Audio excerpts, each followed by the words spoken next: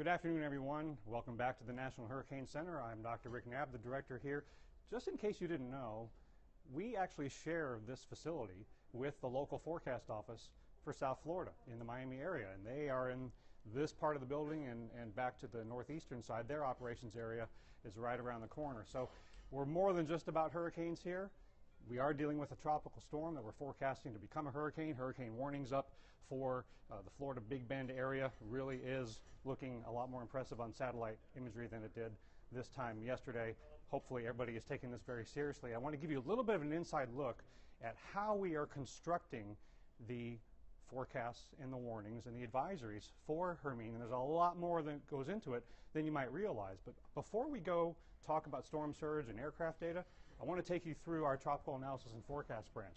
This is hurricane operations. This is where the hurricane specialist unit is functioning. And this is just one of the operations areas here at NHC. We actually are two centers in one. The hurricane specialist unit here, but we also have our tropical analysis and forecast branch, TAFB. So let me take you right across the hallway. And this branch is actually operating 365, 24 7, so there's always something going on at NHC. We're always busy. This is just a little bit different kind of a day because we have a landfall threat from a tropical storm. But here in the Tropical Analysis and Forecast branch, we have a number of forecasters who are on duty issuing critical forecasts and warnings for offshore waters and high seas area, millions of square miles in the Atlantic, Gulf, Caribbean, and Eastern Pacific. And the chief of TAFB, this is Mr. Hugh Cobb, he is at the Atlantic desk today. I want to share with our Periscope audience, Hugh, how we handle the marine forecasting aspect of a system like Hermine. Well, uh, we are now producing gridded marine forecasts uh, from a gridded database uh, using the Tropical Cyclone Marine Tool, which uh, provides the wind speed radii for 34, 50, and 64 knot winds.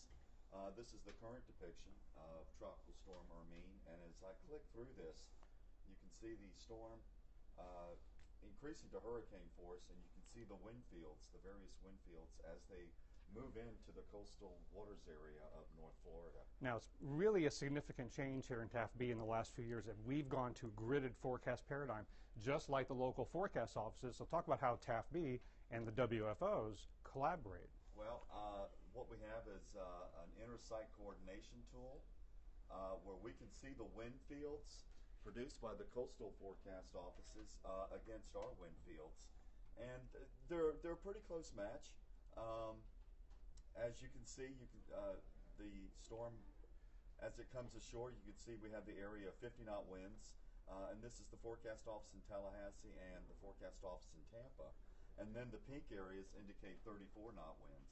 Uh, this is a an 18 hour forecast, and then you can see as the storm moves inland, uh, the higher winds go inland as well. So not so, only are we issuing warnings for people on land, we're trying to keep ships out of harm's way absolutely. as well.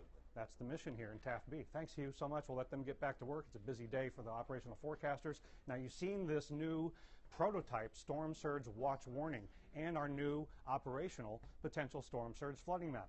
Where is all that coming from? Who's generating that? Let me introduce you to some of these folks. This is what, kind of what we call our fishbowl back here. It's right adjacent to TAFB operations, and this is where our storm surge unit has been collaborating with the local forecast offices. Jamie Rhome here in the purple shirt is our leader of our storm surge unit, and we have a collection of experts here from our storm surge unit. You wouldn't believe how talented these folks are in so many different disciplines, not just meteorology geeks like me.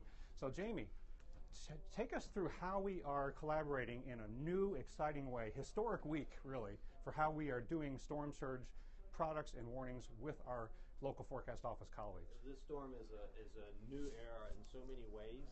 Uh, not only the high resolution potential storm surge flooding graphic, which is now operational, but our ability to collaborate with the Weather Service forecast offices uh, via new technology, and you can see that right behind us here. This is the, the very platform that we would use to work with a WFO on uh, proposed um, watches and warnings. This is a case of the prototype storm surge watch or warning. Um, this is the this is you're seeing it um, a few hours ago. You would have seen this in live action.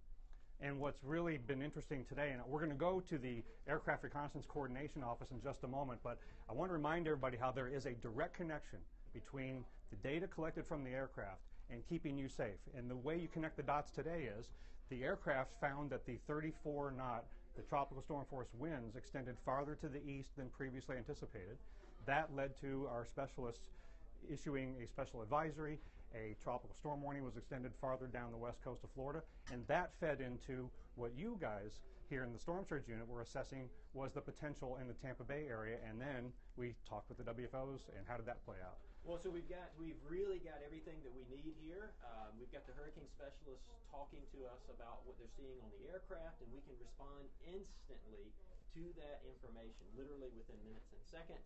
Um, we also have the tropical analysis and forecast branch right behind you, who can feed us wave information, which will be important for, for coastal uh, forecasting as well. and we were chatting directly with forecasters on the floor of the operations areas in the local forecast offices. And again, this is a prototype storm surge watch and warning product that has been issued for the first time during Hermine. Jamie, everybody in the storm surge unit, thank you so much for everything you've done this week. And it's not just the last couple days that they have shined, it's been the years getting us to this point. So let's head over to the aircraft reconnaissance office. I'm going to take you down the innards of the National Hurricane Center down the hallway here.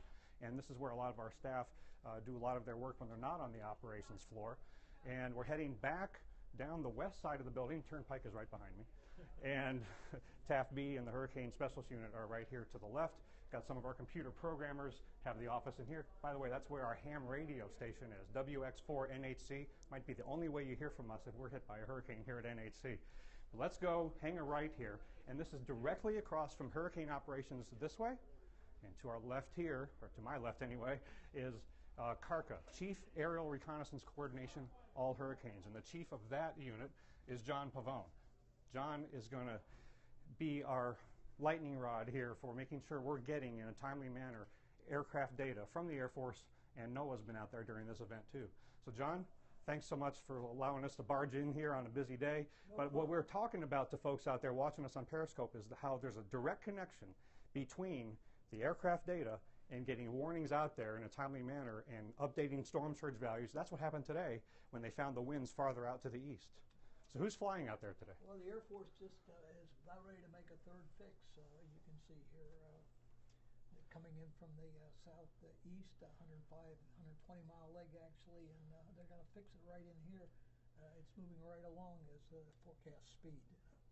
Right, and we fly more frequently when we have a landfall threat, a warning situation like this. And it's not just the coordination that happens in real time when the plane is out there. We coordinate with John and his colleagues here in CARCAH days in advance to plan ahead for what the potential aircraft needs might be.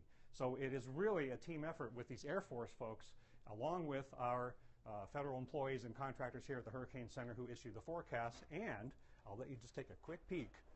I didn't tell them I was coming, but we'll try not to surprise them. In just a few minutes, I'm going to be walking into this FEMA Hurricane Liaison Team room where we will do a coordination call with uh, one of the FEMA regions. And we talk with the states and the FEMA regions, and occasionally with uh, the President of the United States from this room. We did so during events like Sandy in the past.